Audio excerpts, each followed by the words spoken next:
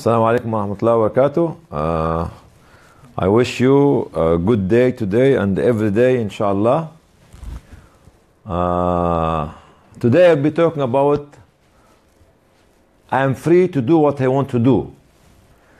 This was a movie in the 60s in the Arab world of a young girl who wanted to express her absolute freedom. But before we start with this talk today, I'll give you some of my personal experience, which happened to be two days ago. I was going to London on Tuesday morning to meet an official, a foreign official. And when I arrived to his place, without mentioning the name, he canceled the meeting without telling me. There was some misunderstanding of message was sent to him. I was left in the reception for an hour. I felt deeply humiliated, but I have to contain my anger. Because some time ago, the same official was uh, trying to meet with me. But anyway, this beside the point. When I contained my anger, I had a colleague with me who looked at my face. I said, Can I walk you to the tube station? He said, No, no, no, no. I couldn't be able to speak. I couldn't be able to talk to anyone. I just had this kind of deep and severe headache, which like a hat headache. On the way back from London to Birmingham, I took the train and I was a little bit worried to be left to my feeling in the train. I was writing on the way to London an, uh, uh, an article about our problems. And Alhamdulillah, Allah has given me the ability to keep writing from the time the train started till we arrived to Birmingham without knowing how on earth this kind of knowledge or words has been descended upon me. I still did not get out of my shock. I had a meeting with an organization willing to try their decision, to change their decision to join our conference. And Allah subhanahu wa ta'ala let me to succeed in this issue. So I went from diving deep down into the depressive state into rising high to the motivated or motivative state. So I was going down, then I went up within few hours. When I looked back at what I've been doing, I realized that the night before I had a sleepless night, I couldn't be able to sleep. And to overcome this, I was saying As-salatu wassalamu alayka Rasulullah the whole night in my bed. And I believe that taking me out of the depressive state into the motivated state is because of the salatu wassalamu ala Rasulullah. This is my reminder to any one of us when you stand and working for the public, get somebody to help you all the time. Get the Prophet ﷺ. Get Allah subhanahu wa ta'ala to be behind you and in front of you. Come back to the talk of today. This little girl was a teenager in secondary school and she wants to do everything with nobody should ask her. Her father and her mother were separated. She had to live with her auntie. And every day she wants to go out late, mix, dance, whatever it is. And the auntie was trying to tell him, You cannot do this, you cannot do this. Till one day she had a quarrel with the auntie, and she went back to stay with her father. While staying with her father, he gave her the freedom. Every time she asks him an opinion, his answer is, You are free, do what you want. She became bored, very bored, because she found that nothing is challenging in her life. She does what she wants without anybody questioning her. Even while she was at her auntie's house, if you look at this small photograph, you found that this subconscious there, this small shadow there, at night when she's in bed, we're actually awakening her. So you cannot do this. It's against your morality. This against your custom. It's against your uh, culture and it's against your religion. Next one, please. There's some definitions of freedom, which without going to all of them, I'll just choose one. Liberty consists of doing anything which does not harm others. That's it. Very plain, it's by UN. Okay. According to the UN Declaration of Rights of Man and the Citizen, man that means man and woman, liberty means consists of doing anything, do anything which does not harm or hurt others. We need to agree on some sort of definition for freedom. Because at the moment, as we speak, there's something that all of us are fighting against, which is terrorism. But we do not agree on the definition of terrorism. Why I am talking about this topic today?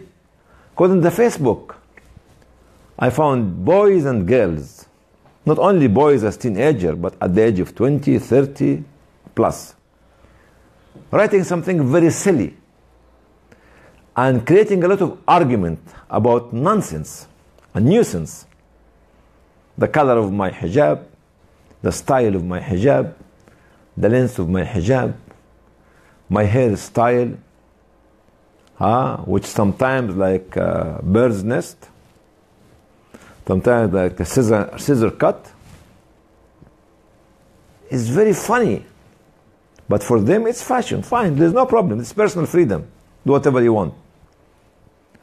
But when you find that those people who are educated are deeply engaged in this trivial discussion, this hurts at a time when you find millions and millions and millions and millions of people are suffering. People are wasting their time, money, and effort talking about the new look, the look look, the lol look, the bull look, the cow look, the goat look, and look a look. You can't, you can't believe that. You can't believe that.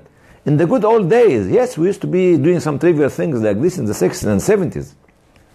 But the level of awareness of our religious education was less than it's now, because now there's a lot of communication, a lot of sheikhs and imam, a lot of printed matter, a lot of available information on the internet.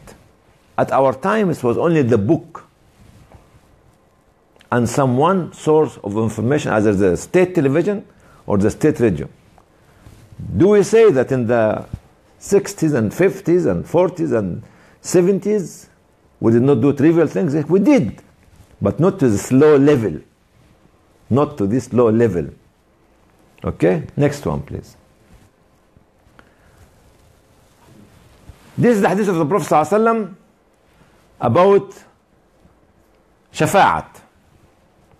Even prophets do not have the absolute freedom. No one of them has it. Adam in heaven, there's boundaries. Allah told them, don't eat from the, the tree. When, when, when, when, when people went to all the prophets for asking for shafa'at from them, you know what Adam told them? I did a mistake. I ate from the tree. Ibrahim alayhi salam in the same hadith said, I did one or two lies. Okay? Nuh alayhi salam, he said, I made a curse against my people. Musa alayhi salam said what? I killed the Egyptian. And so on.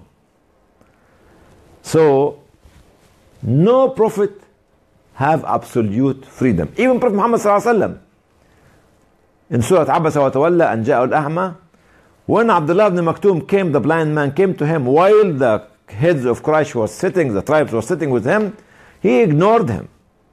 He was not, he does not have the right or the freedom to ignore Abdullah ibn Maktoum while those people are sitting there. So Quran was revealed. to educate us that even the Prophet ﷺ has a correction from Allah subhanahu wa ta'ala. So in freedom, no prophet has absolute freedom. What are the in, in myself, what's my personal elements of freedom? How to become to talk about freedom, to understand freedom, to create free society. What shall I do before I talk about freedom? First of all, look at our society and the climate, and we have to work very hard to make a strong civil society. Because this is a climate where the freedom free, freedom tree will grow and bear its fruit. If you don't have a strong civil society sector, freedom tree will not grow. This is the climate. But actually, personally, I have to be educated. Education, because it's a state education, could become nowadays a passive activity. Because you force children to go to school, you force them to study, you force them to excel, you force them to get a degree. They might not have the desire or the urge to get educated, but they go there because this is a society. So education could be seen as positive stroke passive. People get educated to get married. People get educated to get a degree, to get a job, but not for the sake of education. This is the first step at the bottom. Then the urge for learning. You know what the difference between uh, education and learning? Learning is something personally you take to teach. You understand to, de- to develop and to deliver. Less people, less people of the educated people will go to the process of learning so they can teach the community, they can teach the society, they can teach the generation. So go from education, which could be a passive, to learning, which is a positive, to understanding. Once we start to learn, understand what we are talking about. Does everybody has a PhD or master or call it understand the complexity of the society he or she are serving? Or we just put these titles on our letterhead or on our business cards? Say, hey guy, I'm a PhD man. Hey guy, I'm an MD man, a man. Hey guys, I'm a woman who got all this, this, this, this, this, this. So understanding is more comprehensive than the process of education itself. Then to realize this is the society, complexity, and the components of the society. Then we move up to the highest level which is awareness, إدراك. بتعليم تعلم فهم آه آه realization هي بنسميه إيه آه مع آه وبعدين إيه ادراك في الآخر وعي وبعدين ادراك تعليم تعلم فهم وعي ادراك تعليم تعلم فهم وعي ادراك prophets of Allah subhanahu wa ta'ala all of them use this formula to take to the nomads masses give them the very simple message and select amongst them the people who have capability to learn more. Then lead them to understand to lead. But before leading they have to realize and to be aware of what's happening in the society. What's happening in the society. And this is actually before we talk about freedom i have to go through this. I have as a individual to go through this process. From passive to positive to active to make the positive social change of the society. Next one, please. These are the obstacles or the barriers which stops freedom. Ignorance, of course. leading an ignorant nation far more easier than leading educated nation which is aware of what's happening. Corruption in the society. In this corruption of society, corruption is not only stealing, it's not only uh, uh, uh, forging, it's not only uh, uh, attacking women or what do you call it, harassing women. No, corruption is moral. It's moral. The moral corruption is more dangerous than all because it leads to all this kind of corruption. This will happen when, in absence of the of uh, of strong civil society. Unfortunately, most of the Arab and Muslim countries do not believe in civil society sector or a strong civil society sector or strong civil society organization. These are the obstacles. The climate is the absence of civil society or the weak civil society sector, and the steps is ignorance, corruption, extremism, religious extremism. Nowadays, we find a lot of religious religious leaders, whether they are Muslims, Christian, Jews, others, whether they're mosques or churches, are politicizing their religious teaching. By doing this, they will be dividing their own community, mushrooming it, needless to say, dividing the whole nation. Unfortunately, some of those religious leaders are creating extremism, whether they are Christian, Muslim, Jews, or others. Because this is based on ignorance. And this will definitely lead to conflict. So ignorance, corruption, religious extremism, religious extremist leaders. Religious extremist leaders. Can you correct it? I'll correct it later on. Religious extremist leaders. And then will lead to conflict. I'm saying this because I'm still remembering this discussion between those young men and women on the Facebook. Spend times and times and times and times and times and effort. Midnight, beyond midnight, anytime. Talking about very trivial things while the world is suffering badly, while their neighborhood is suffering, while their family is suffering, while even themselves they have no brighter future. Next, please. Does freedom has a parameter? Yes, of course, it has a parameter.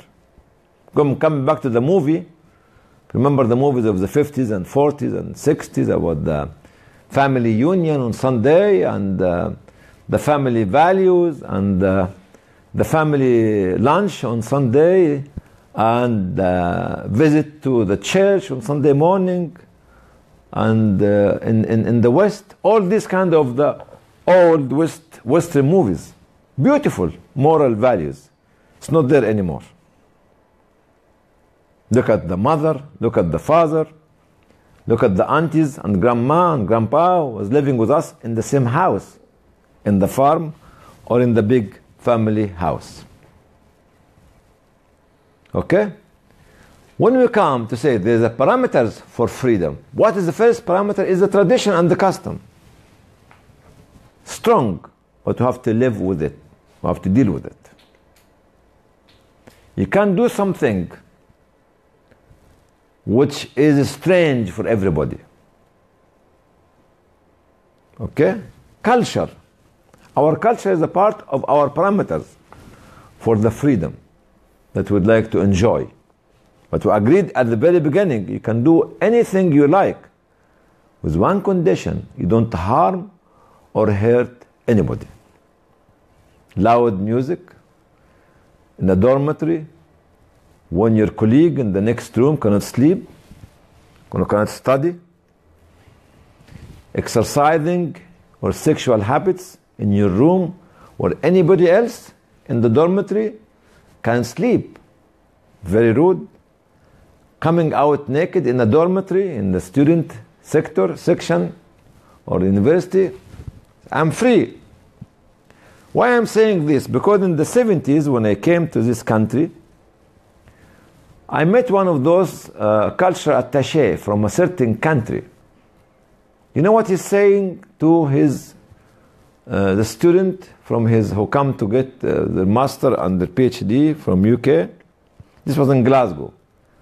He told them, boys and girls, whenever you go back home, I want everybody in the street look at you and say that you came from UK.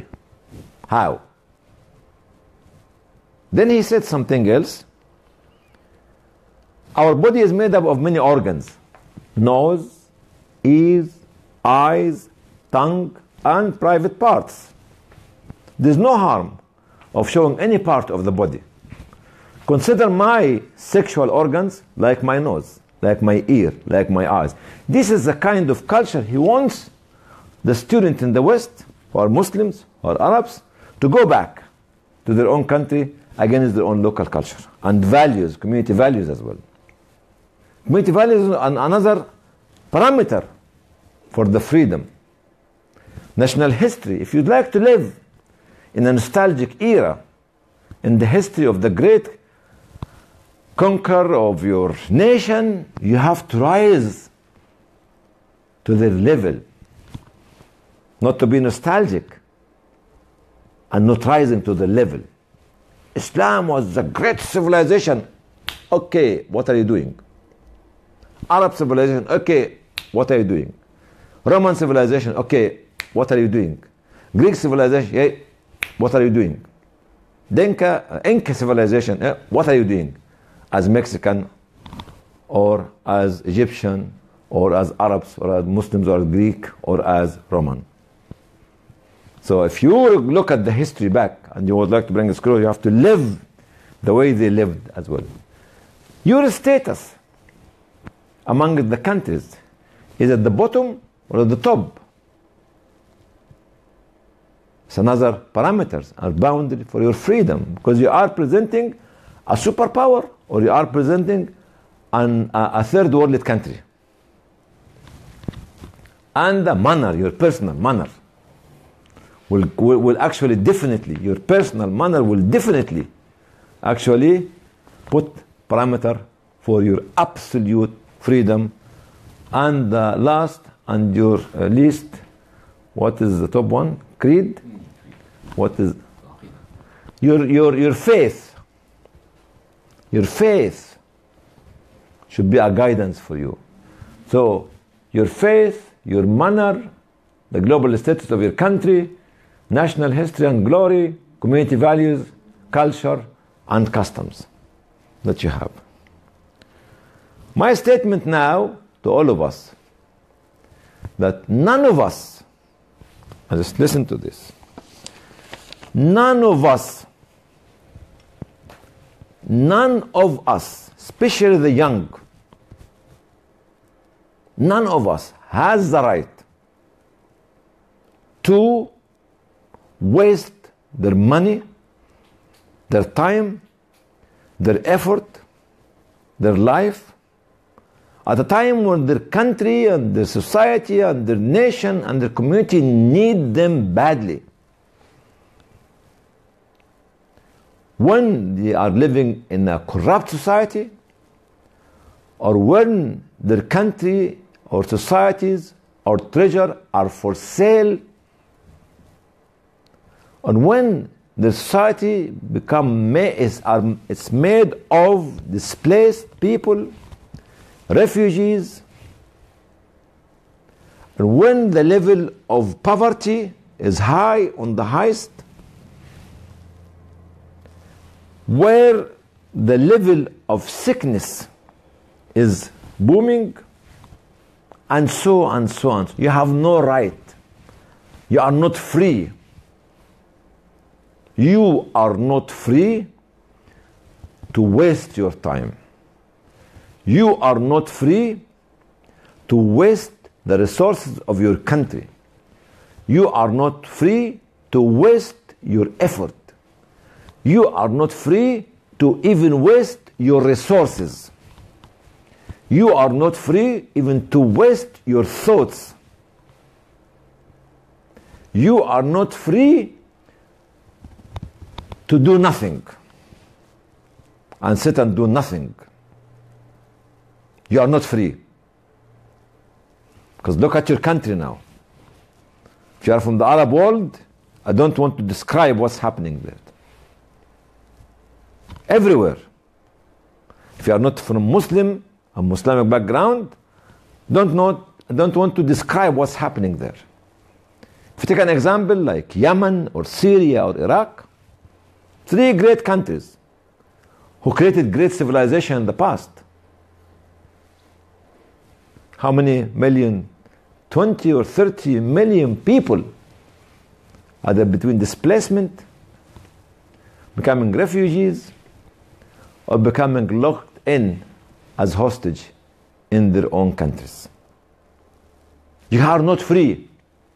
You are not free to see humanity is suffering in Myanmar, in Afghanistan, in the Democratic Republic of Congo, in Libya, in Yemen, in Syria, in Somalia, in sub Saharan Africa, in Palestine, in Gaza especially, are not free. You are not free. You are not free. We are not free to look at all this and still wasting our time talking about the color of our hair, the style of our hair, the new look that we have, the food that we ate yesterday, okay, the last joke, or waste all our time and money and effort to become hooligans behind football, which is a new religion. We love sport. We love to play football, but we don't worship football. And we don't worship soccer. And we don't watch superstars. We love drama, but we don't watch the stars, the movie stars. We like to listen to music, but don't be taken the whole day in and out, sucked in this kind of thing. You are not free.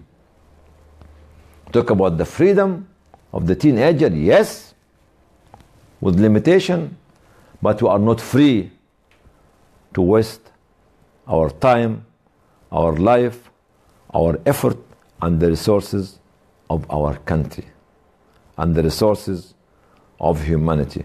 Come back to conclude because I nearly finished now. Okay. We talked about definition of freedom, very simple. Even prophets don't have absolute freedom. And you have to do all this homework to understand what your personal freedom is to go from education, which is passive, to learning, which is positive, to understanding, realization, and awareness, to build this strong civil society to protect your freedom.